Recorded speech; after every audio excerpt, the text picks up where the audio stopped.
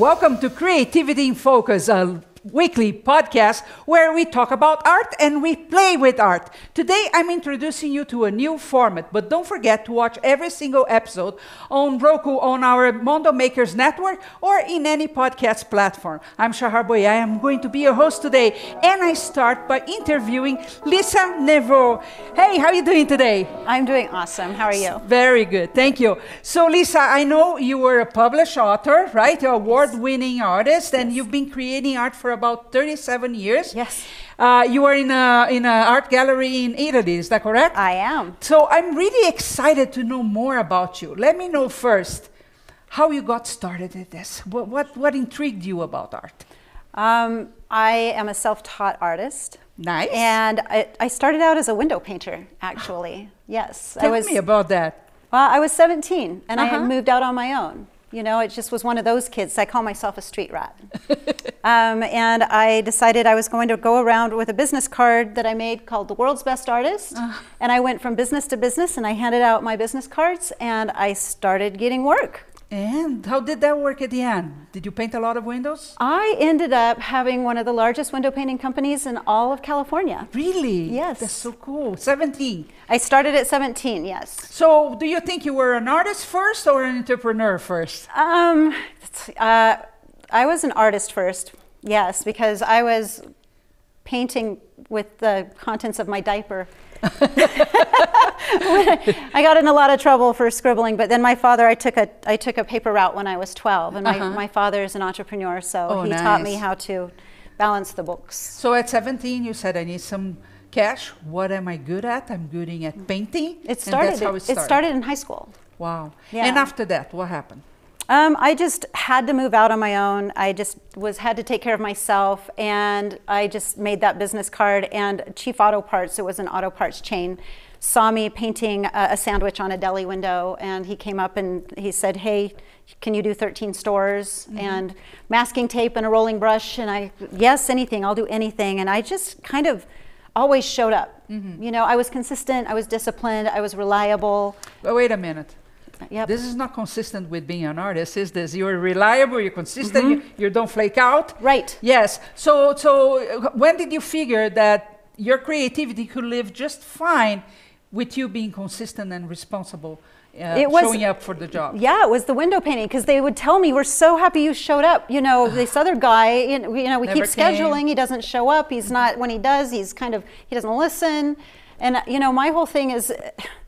It's one thing to be an artist, but you also have to be like responsible. You have to be personally accountable for yourself. And, and when you can do that and apply that into the art, well, you'll soar because there's so many people that use the excuse of being an artist to party, and that's not what being an artist actually is. It's hard to work too, right? Yes, because it there is. is the learning and discovery that you put into that every single day. Absolutely. Mm-hmm. And from there, so you painted for a while, and then I want I want to go all the way Hmm. to the gallery in Italy, right? So what, how, how how was that? You were painting windows in California for delis, Uh-huh. and and now you're in Italy. How did that happen?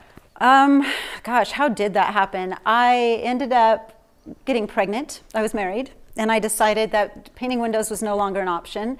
Um, and I wanted to be able to get into licensing and illustration, and I saw some artwork in the mall, and I thought I can do that, you know.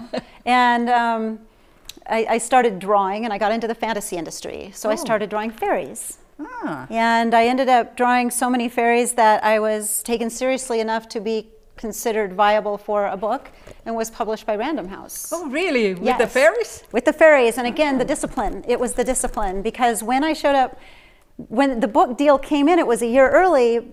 But the book deal got sold, and, Uh-huh. and the next, then Random House bought it, and they Okay. looked at the artwork, and they're like, "This isn't what we want. We want what's on your website." And I had three weeks To to, come up with 33 pages to save the deal. Wow. And so every single day for three weeks, I painted 33 fairies, and I Lot, lots of stress locked there. it in. Now you mentioned the word licensing. Yes. Tell me, tell me what interested you there, because I know there is a huge pot- potential for artists there, but not many explore that route. So what, what? What does licensing do? or- and what interested you? Why, why did you want to go that route? I'm interested in licensing. Licensing is the thing um, that makes it so you have residual income.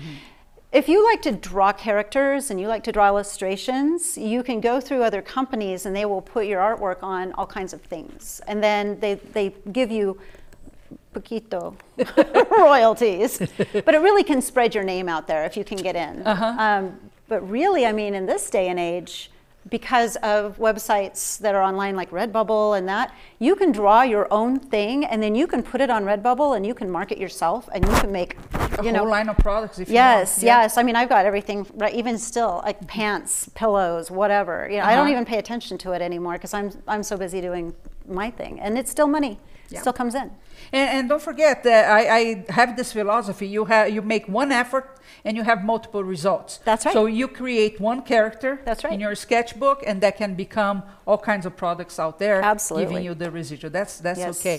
So you went from the deli to a published book, Uh-huh. and then And then I decided that I wanted to be taken more seriously as an artist because the fantasy industry will not put you in a gallery. But it has a tendency to push you down the road of licensing.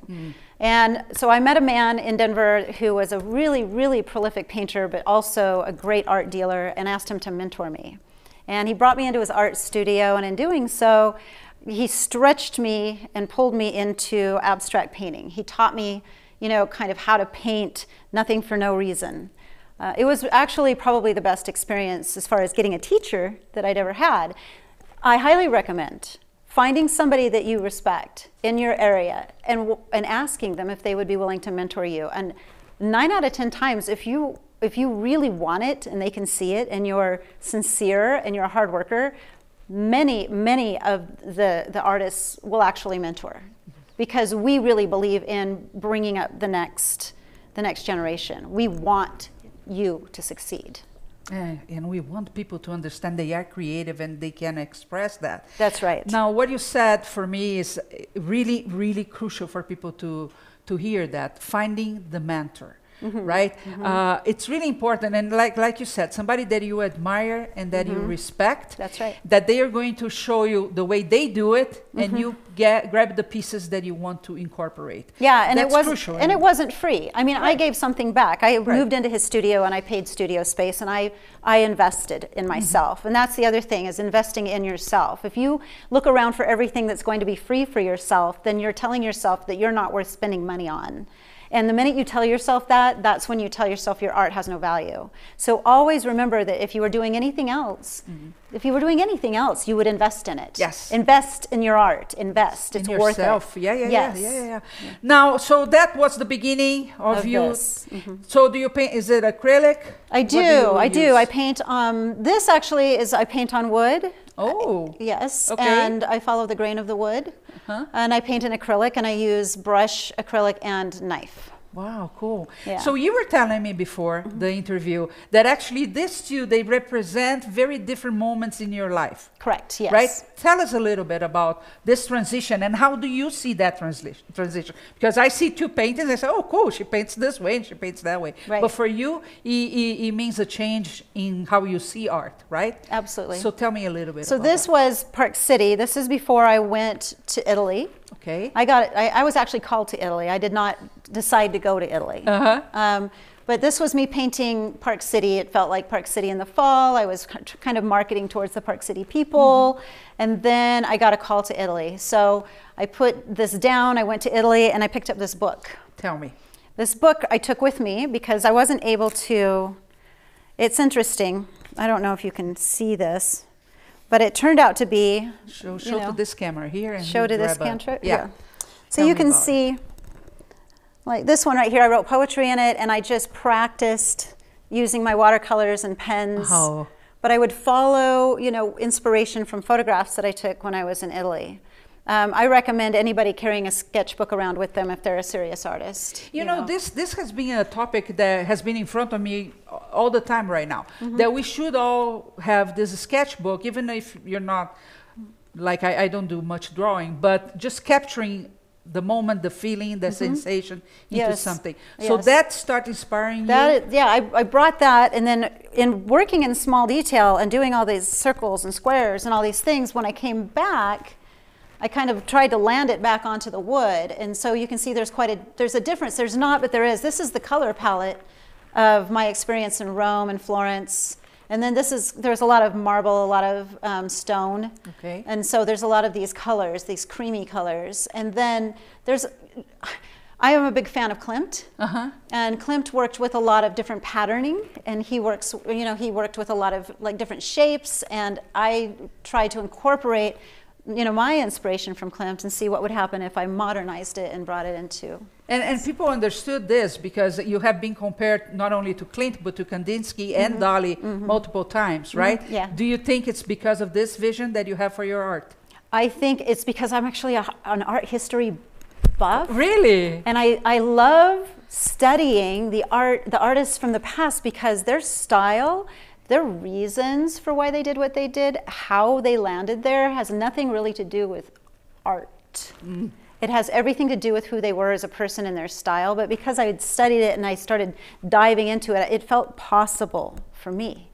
And I think that's the other thing is if you really get to know the artists, if you learn the history of artists, they have um, they have a story. They have a story, and their story has so much to do with the movements and the changes that are going on in their time. And many of them were involved Yes. into the changes and the resistance, right? That absolutely. Yeah. They played huge, huge roles in drawing attention and creating movements. And the entire, a little bit about Klimt. Klimt left all the institutions and he started a, a group called the Secessionists. And he actually brought in everybody instead of art being with by artists he brought in the, the ironworkers and the ceramicists and the sculptors and everybody under one roof and called all of it art. And that for the first time that's what really brought all everything together as living art so that the whole cities would start rising up and being redesigned in vienna and over in france. That, that whole art nouveau movement came from stepping away from what everybody's telling them what's cool and telling them what to do. He was an individual. He did his own thing. A lot of times he was by himself. He didn't care if he fit in. He didn't want to fit in. Neither did, you know what? Neither did Frida. Uh-huh, She Frida didn't want to yes, fit in. uh-huh. Neither did Monet. He actually walked, he started the Impressionists and walked away from the Impressionists. That's when he became successful.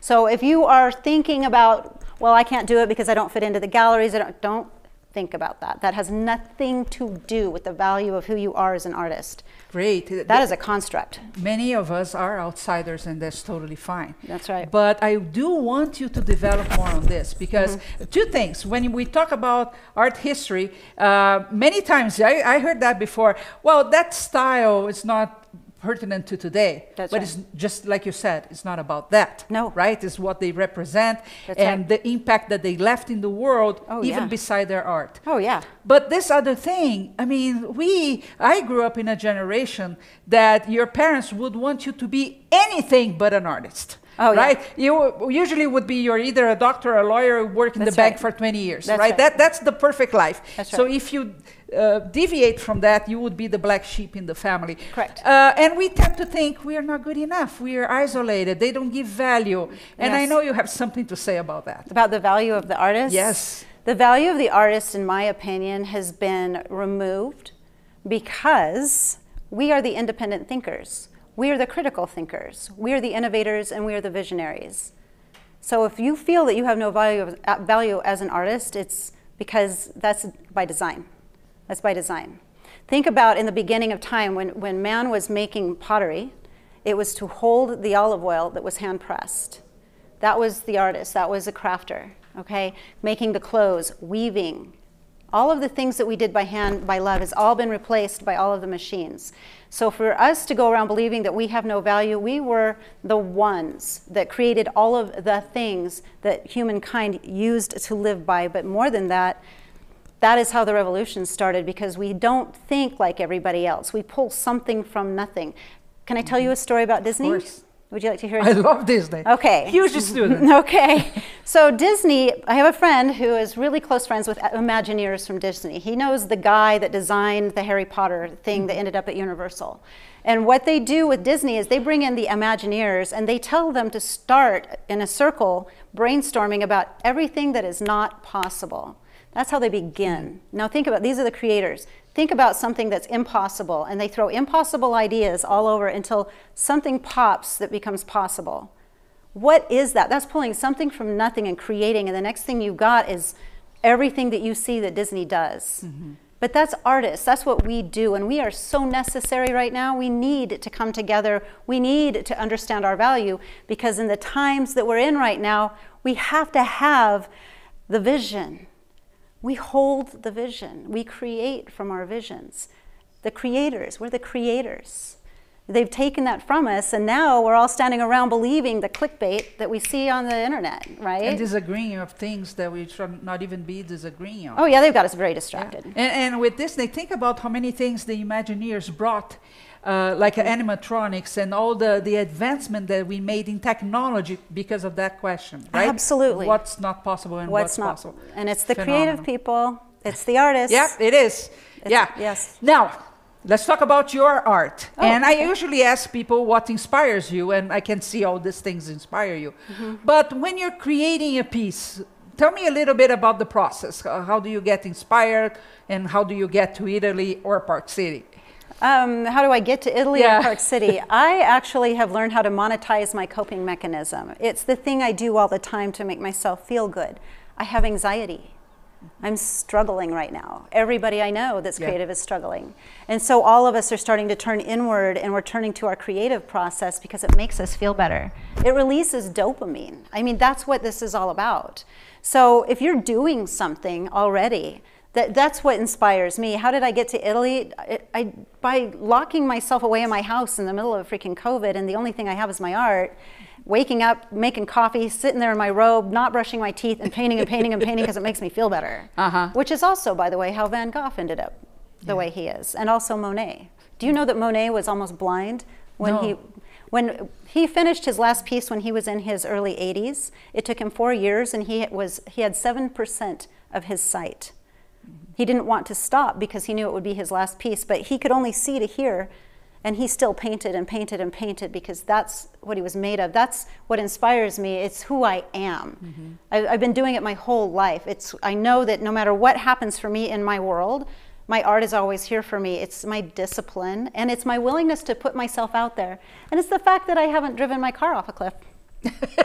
right that's a good thing or else i wouldn't be interviewing you right? but what you said not, do, do not see as uh, the obstacles right, mm-hmm. to stop you. Like you said with Monet, Beethoven is another example. Mm-hmm. So whatever it is, because you know your your joints may hurt.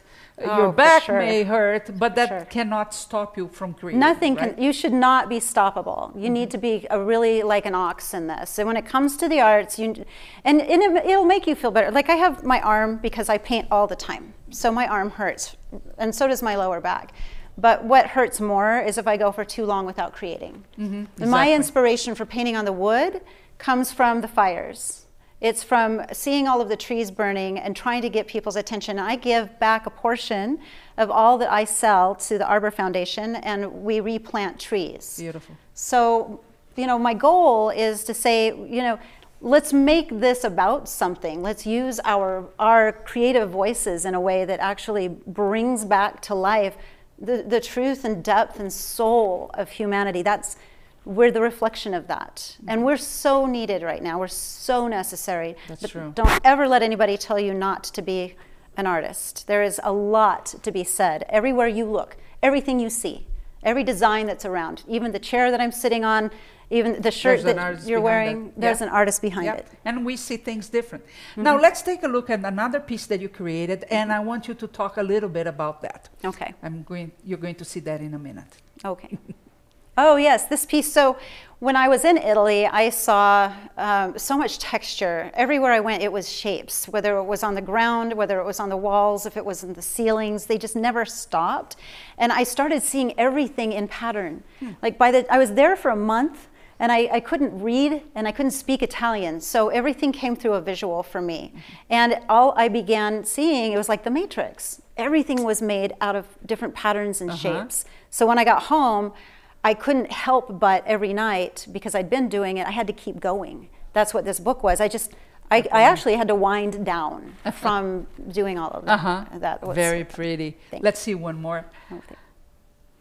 This one was a piece that I had done quite a while ago, and I was trying to incorporate my older style and then bring in my newer style and make it even more interesting. Mm-hmm. Um, but you can kind of see my Dali influence. When I was out there, I actually saw um, a museum that had it was all Dali pieces that were not pieces that we normally get to see. Oh, nice. Um, so I was heavily influenced by the way he liked to stretch mm-hmm.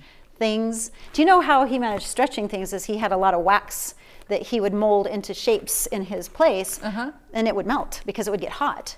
and so he started painting the melting of the, the melting. things that he had created in uh-huh. order to, to paint cool. it. That's yeah. very cool. Yeah. And the last one, let's see. Oh, that's this piece. So this particular. Oh, that's the same one. It is the same uh-huh, one. Yeah. This particular piece again, it represents the water. Um, it feels like Pietrasanta. And I went to Pietrasanta. It's where Michelangelo and all the other sculptors would go to get their marble. Uh-huh.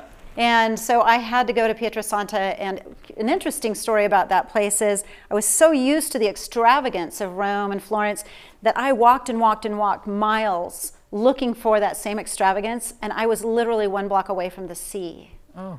And I didn't go to the sea. It took me a hot second. I actually decided I needed water. I'd gone for two miles, and I went in to, to get some water, and I could see the sea. And all this time, I'd been looking for all this extravagance. Like, goodness, I, I, I walked all the way out, and they had a chair out there, and I fell asleep. I slept. But I just think that it's interesting how when you're looking for something, if you're not careful, if you're not looking at what's right in front of you, you, you will see. overlook yeah.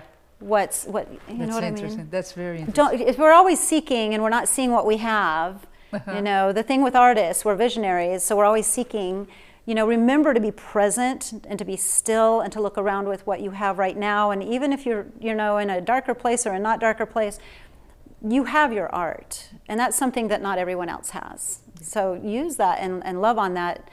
And before we go, I have a really quick story about sure. the ego and the muse. Uh-huh.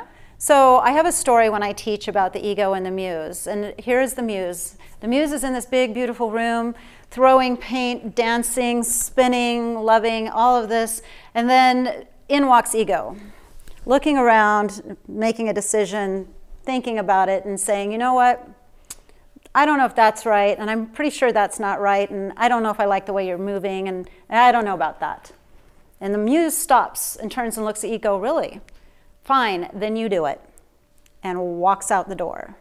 So next time ego walks in when you're creating, remember the ego probably belongs somewhere in the theater department in the back of your head, uh, up there playing with the costumes, lock the door, and send them packing because your ego and your muse don't let your ego control what drives you and what moves you. It's, it's not about doing it right, it's about doing it.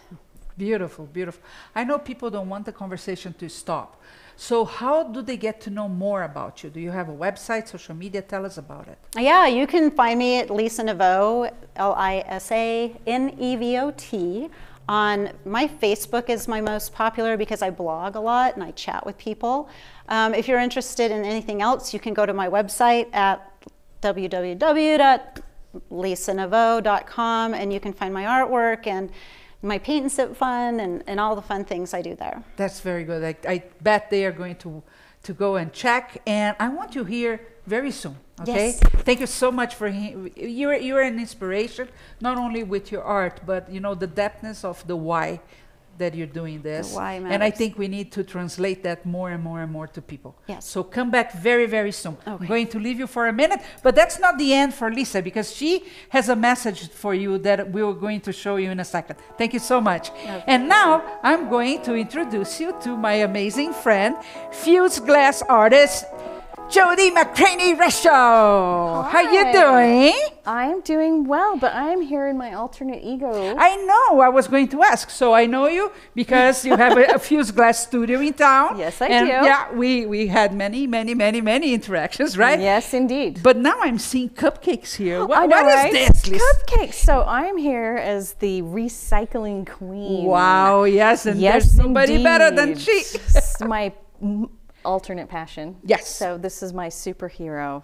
My, my day job is being a glass artist. My secret identity is being a recycling. Yes, hero. and and when we were talking about this new format for the show, uh, you everybody that knows you knows you, you love a thrift shop. Oh, yes. Right? But, but we wanted to convey not only recycling, but the importance of turning something that you could see as trash Mm-hmm. into something artistic.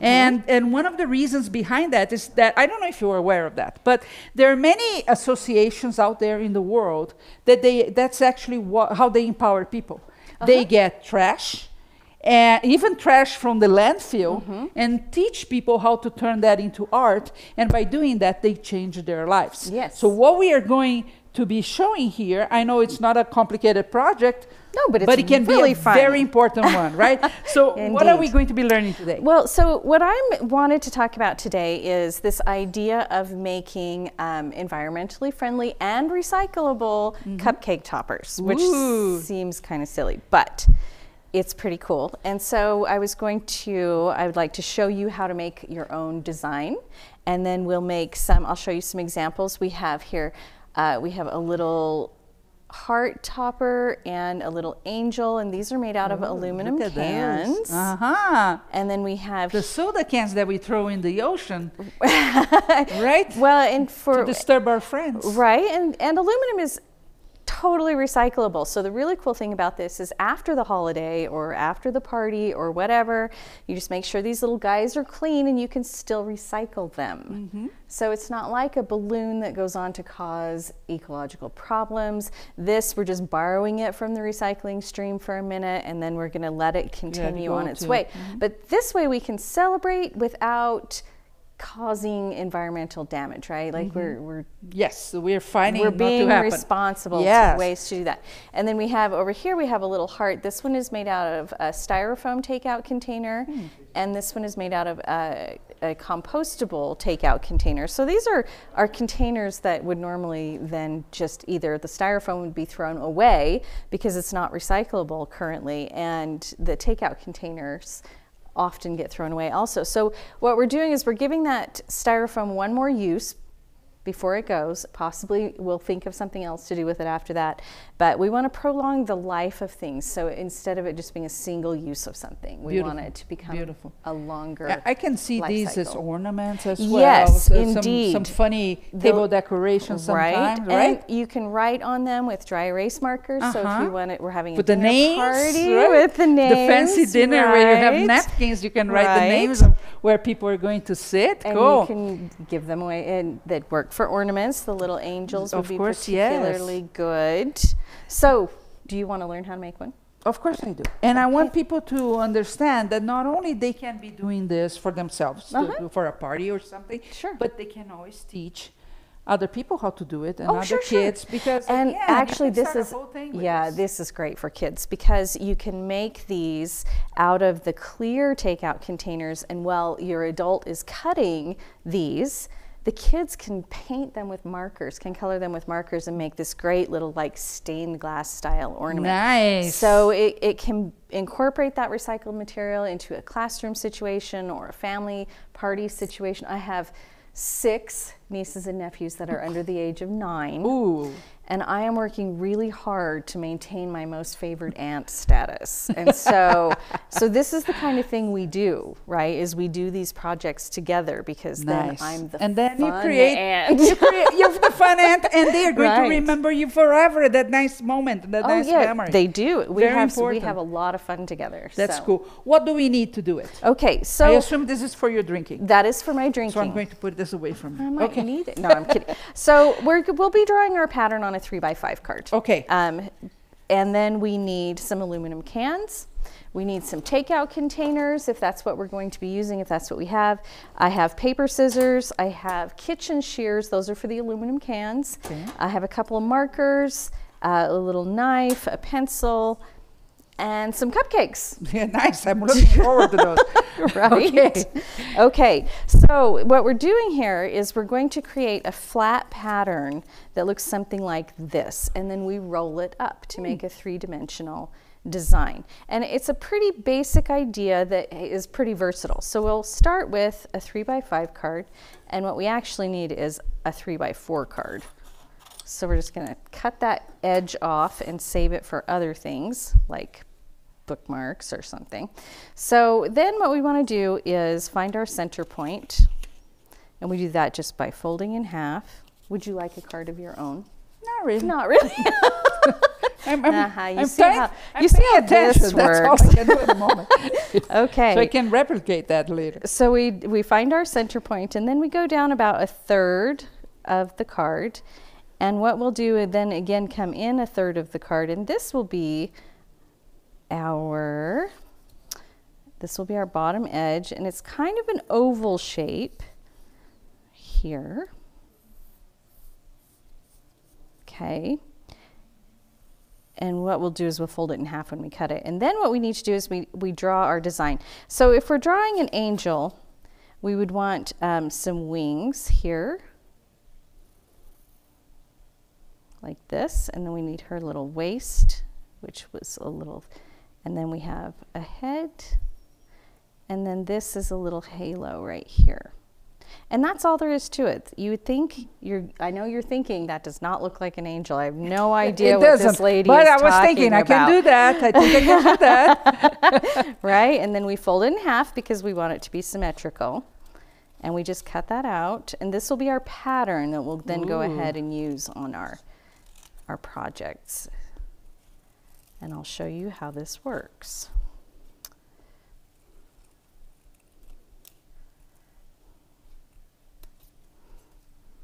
Are you happy that you're showing people how to recycle stuff? Oh, you know, it's so much more fun to show people how to do something fun with recycling than to just lecture them about Uh-huh. recycling. So, and you know, I'm a problem solver. I love to do new stuff. So I'm always thinking about what can I do with, and you know, I'm also thrifty. So, and then we've cut halfway through. Okay, so does it look like an angel yet? More a ballerina for me, but Okay. so So pretty ballerina. Then we wrap her around. There she Ah, is. looks more like a ballerina to Looks me. well. Okay. All right. That's fair. That's fair. Okay. So then we turn her around. Ooh, look at the and we have we have two yeah right Huh? Ooh, the turning technology and then we just uh, we just fold those that together right there. Wow. and then you have your little angel Ah. now, there's one more thing that you can do, and this is an optional. Uh, but if you want to, you can go ahead and take your your razor knife here, and you can add some little sleeves. So You're getting they, fancy. I know, right? That's why it's optional. Fancy is optional. But, so this way, when you roll her up, That Yes, she cute. has. Show that to Jessica. Look, look how Right. pretty. She Nice, has little beautiful. sleeves, and then of course you can embellish it with and whatever then you you just like. decide what kind of material you're going to be cutting them on, right? Yes, that is correct. But you can also use the same exact technique to do, and I'm just going to do this super quickly um, because it's it is also very cool. And you remember we just went, uh, we just did a curve here, and a here, and then we'll go ahead and just do a heart here, because you know there is a holiday coming up, or hmm. There's always there, a holiday there's coming always a up. holiday coming up. There was a holiday that celebrates. Oh, there's one with a heart, With I a see. heart. Right? And so then we can easily just make these little guys. Right. Oh, how And look at romantic. It almost it could almost be Mickey Mouse. If I had a boyfriend, I would get some cupcakes and make some of those. That's cute. But with the aluminum, I would assume it's quite hard to play no, with let's let's make one. Okay. So we have we just have our shears here. We of course don't want to use our nice scissors because. Uh, right. you cut with no remorse, right? I'm relentless, man. and I have to say, I do like the water cans the best because they're not sticky inside. and I usually cut down the, the uh, barcode. That's a water one? Mm-hmm. Oh, Yeah, look, it's even still Oh, got a little I bit like of the water aluminum. in Let me it. get you a rag. Okay. And you could do, oh, thank you. And you could do the color side or the black and white side, but let's do a heart. Shall we? Yeah. And then what we would want to do here is try and get our marker to work, That would be nice. right? So, but the whole point here is this is a very easy to modify design. So you could do stars, you could do um, rainbows, which would be really cool because you can draw on these with permanent marker. Uh, so you really have a lot of options. You could make Not these bad. as party favors. And if you have nice uh, shears that cut smoothly, it's really, they're not sharp. Oh, nice. Yeah, so you want to make sure that you get uh, a set of scissors that cuts smooth and doesn't give you a serrated edge. You know, you cannot take lightly the the soda can because I have a friend here in town that he actually creates sculptures out of soda, ca- and he makes the most adorable dragon out of them. Yeah, big pieces. Oh, He, he sometimes he, he does as a hobby, Uh-huh. but sometimes he's at the Utah Fair, State Fair, and things like that. So there are many things you can do with those cans. There, yes, there are, and they're really pretty easy to work with, and also really available. So you know, you are you're all set here. So the secret here is having this uh, semicircle design because that's what's Yes. hold, holds the cupcake, and then you can do stars, whatever you want. Yes, that is Oh. correct. So we have our heart. Cute. Ta-da. Yes, very cute. So there's a couple of things we can do here. I'm becoming my yourself. art. No. so you can use your pencil, and this aluminum is thin enough that you can then just come in here Emboss. and you can do a little bit of embossing, right? How fancy. And so you can uh, put names on. You can use your permanent marker if you want. Okay. And then when you roll it up, and we tuck those cut ends under, so make sure that you Tuck so you have on. a nice clean back. See that? And then you can Very. right? And Uh-huh. do you see? It says Uh huh. It says Shahar. Shahar. Oh, if Shahar, so then put some stars. Oh, here. right. Then we have to put We, some we gotta, we, fancies. we have to have a bling. we gotta have a bling. We got a bling. Yeah. Okay. Ah. Right. That's fair. Very oh, this one isn't sticky, hun. Oh. I don't know what you brought. Right. oh, sure. Yeah, like it's fault, huh? my fault. Here. There we go. Aw. That one is sticky. Okay. Oh, I look so much prettier you now. look oh, so look at that. pretty. And the cupcake! Da da da da da da! Look how cute! And then a cupcake. Look how cute! Beautiful, beautiful, beautiful. Right. Very cool. That's a very cool idea. The nice thing is you can recycle it when you're finished with it. Yeah, it's just a fun project, quick project. Yeah. Right? But as everything we do, Jodi, because we do many things together, I think it is, uh, well, it's the fact that people tend to separate crafts and arts all the time, right? Like Yeah. art is so important and crafts not important at Right. all. When really there's no separation. As long as you're creating and Right. expressing yourself, that's fun. Having playtime is also very important, It right? is critically important, um, and that's actually why I'm so thrilled to be here. One of the reasons is because I do get super focused on my artwork and super focused on solving those glass problems, and I do need to be bad at something, right? I need to, That's a great way to put it. I need to have something that that there is no pressure that I can just you know make some some terrible angels Uh-huh. and- until I get one I like. But but there's no pressure, so No pressure, I like exactly. that that ability to play. the play the play Mhm, part that the we need we need to exercise that Yes.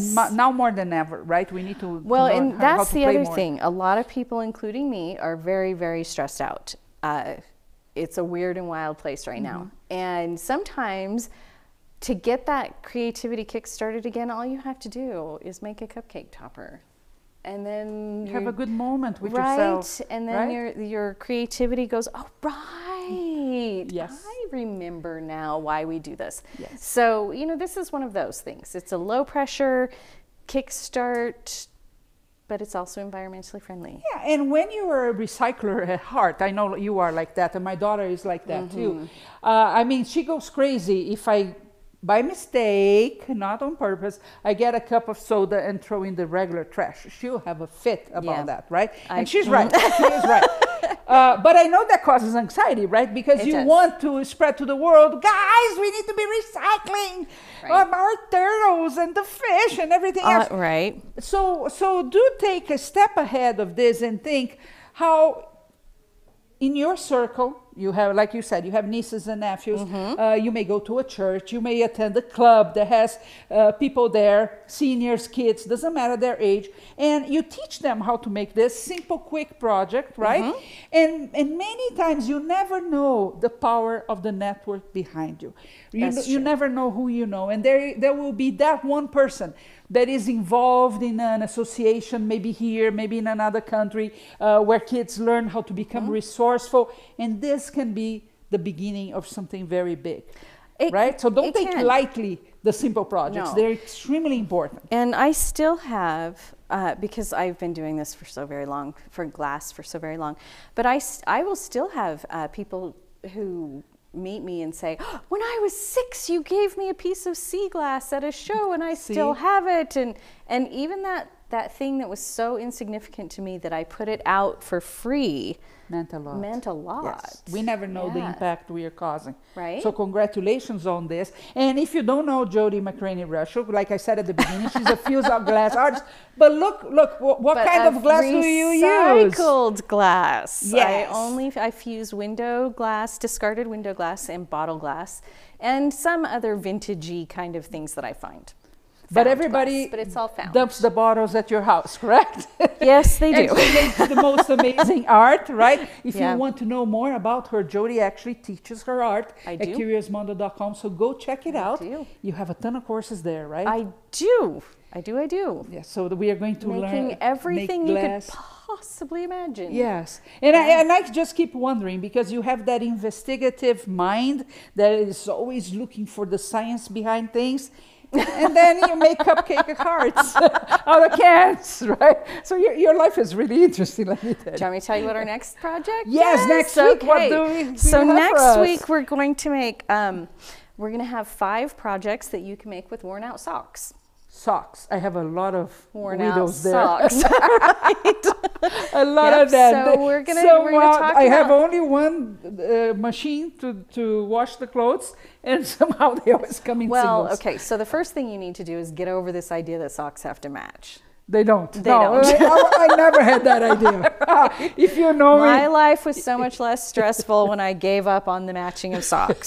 Just, or, or shoes, by or that matter. Yeah, that too. You know That that I had this episode that I went to a car dealership for a fight.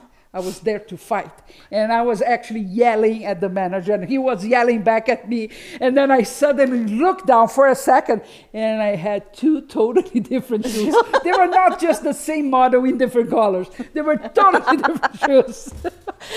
oh, that put a dent in my self-confidence. My husband does it on purpose. Oh, really? Yes, nice. he always has two different color shoes on. Yeah, why not? I can find him in a crowd, no problem. Good. I, that's Right. how I, I love creatives. I love. So, Jodi, thank you very much for being here today. Thanks I'm for excited for me. next week. Yes, it's going to be fun. And don't take the cupcakes away. you know, I'm starting to see why I was invited here. Right? it's all about the cupcake. All about the cupcakes. So we asked some people, what is art? Because there are different definitions for that, and we don't want to know what's in the dictionary. We want to know in depth what, who are we as creatives? What is art? And Lisa Nevot has a message for you. So, what is art? Art has been here since the beginning of man. Art is the original voice, and in my opinion, is the scribe of God. Before we spoke languages that everyone understood, and before we wrote with writing, there was artwork on the walls, there was artwork in the caves, there was pottery to hold the wine and the water. We have been around as artists for as long as mankind has existed. If you are an artist, think this governments have come and gone, Religions have come and gone. Statesmen, wealthy people, ideas have all come and gone, but to this day, to this day, the art still stands. If you're a creative person right now, in these times, your voice, excuse me, is part of the new Renaissance. You are here for a reason. Everything that you're thinking and feeling needs to be recorded and put down for the history of our future. And just know that your, your purpose has always been to be the recorder, to be the one that brings the beauty, to be the one that reflects the great exhale when words lose their meaning. Please always remember that art, above all things, has been here longer and carries the most value. It's Nik Kienest here, and I'm coming to you today with a new tutorial on how to create your own scratch paper for scratch paper art. This is actually a really fun project that anybody can do. Uh, you can get the grandkids involved, your kids, the whole family can join in and get together on this project. It's really fun, really simple, uh, but it can produce really things. Uh, so let's jump into what you'll need to get started on this project. Uh, obviously, the first thing that you're going to need is some paper but you do want to make sure that you're not just using normal printer paper for this. What I'm using is actually uh, sketch paper, so it's a little bit heavier weight, um, and that's what you want. You don't want paper that's too flimsy and can't withstand a little bit of moisture, and because it will fall apart. Uh, you want something that will be able to withstand the moisture. So watercolor paper will be a good option for this. Uh, this kind of sketch paper will be a good option. Smoother surface will be an easier project and gives you a better finish. Is that what I'm going for? It'll give you a better finish in the overall if you have a smooth paper to begin with. Uh, so that's the kind of paper you'll want to use. We're also going to be using uh, crayons for this, but you have a couple options. You can actually do this with either oil pastels or crayons. Um, I just went, go, went with the crayons because they're cheap and affordable and you can basically get them anywhere. Uh, and the last thing that you absolutely will need is spray paint. You can do this kind of uh, scratch paper with paintable acrylic paint, but I find that the spray paint works a lot better. And here is the secret. Make sure that you get a matte black finish spray paint. Don't use the shiny. The shiny is very distracting on top of the wax and everything else, and it doesn't scratch off as nicely, in my opinion, as the matte does. So make sure that you get a matte black spray paint. Okay? So we're just going to jump right into this. Uh, the first thing that we want to talk about is coverage. When you are creating these, the trick is to cover all of the paper with the wax. You don't want any paper peeking through because what happens is when we go to spray paint the surface, if any of the paper is peeking through, it, the paint will absorb into that and it will not scratch off. So you want to make sure that you are getting a really, really good coverage of color with your crayons. And I will show you what I mean by that.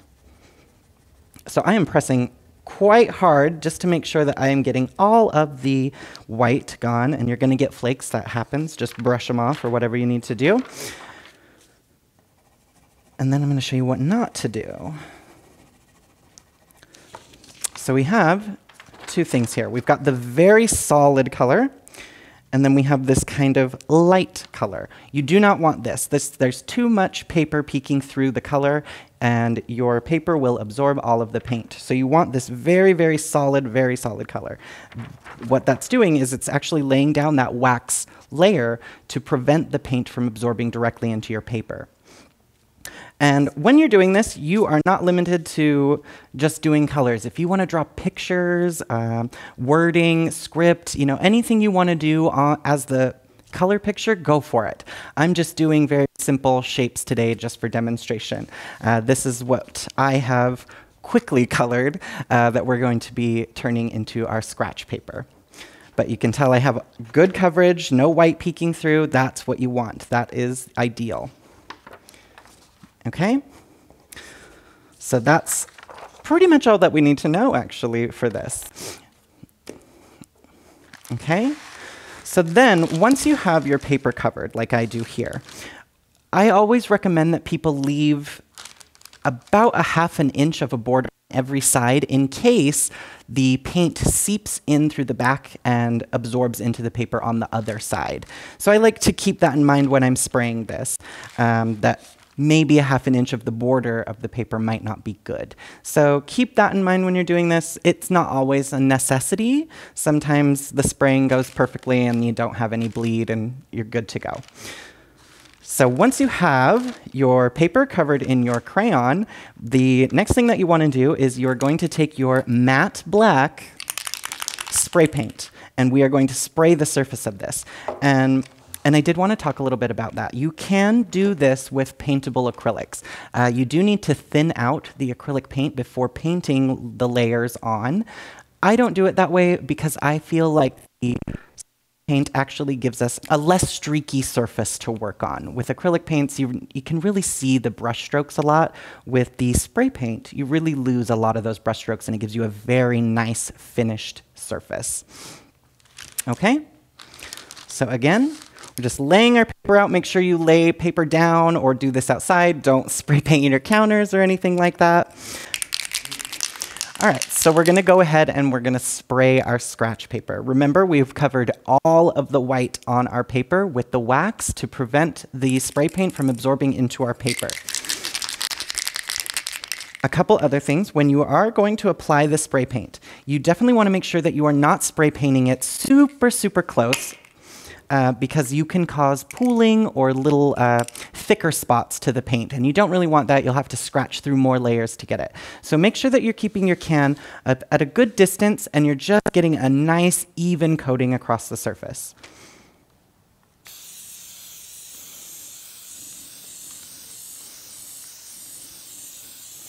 And you want to spray it until you can't see any of your original color. Ooh, I got a little heavy handed there. It's okay. It'll be all right. Okay. So this is where you want to be. You want to cover the paper completely. Some of the edges might curl. That's totally fine. That's bound to happen with this unless you're using really, really thick paper. But this is where you want to be. And now you need to move this aside and let it dry for at least a day, I would say. It dries pretty quickly. However, if you don't let it dry completely, when you go to scratch off the paint, it comes off in a long strip rather than small chunks. So it's it actually isn't helpful to scratch it early. So once you have your paint, set this aside to dry for at least a day. So I have a sample piece here that I actually made beforehand so I could show you guys the end result of the scratch paper. Uh, as you can see here, on this part of the paper, I didn't actually cover it with wax. So you can see none of that black is really scraping off because the paint has absorbed into my paper. Here in the center of my paper is where I've actually laid the wax down. And I have let this dry so it will easily lift and it won't cause me any issues. But once it's dry, this is how your paper will look here in the middle. You'll have a nice, almost chalkboard-like surface. And I'm just taking a small stick. You can really use any kind of pointy or blunt object to use as your scratcher. Everything works. But once it is dry and you go in and start scratching your paper, you can see that that color is revealed from the dry spray paint. I, I get so excited when I do this. I don't know why. It's like being a kid again but you can see that beautiful color pops through. And even though people say that the crayons come out a little lighter than the oil pastels, that's still pretty vivid to me and I don't even mind it. Uh, just remember to brush off your flakes, but then you are just free to scratch whatever design you want to into your paper. It is so much fun. It's really a great project. I actually learned this when I was a kid in art class. Uh, so this is a really fun thing to do with kids. The whole family can get involved. I really hope you guys enjoy it and I would love to see some of the creations you make with it. Well, I don't know, but I'm super, super, super inspired to create more. I love what Lisa had to tell us and the, her art, amazing, right? The project that Jodi did is a quite fun you know, just mind buffering kind of thing for, for you to do. And what Nik showed you can really become your next art project because you can dive into the scratchboarding. Amazing. So go create, but don't forget to join us next week for more creativity in focus. You can watch past episodes on our Roku channel, the Mondo Makers Network, or on any podcast platform. See you next time.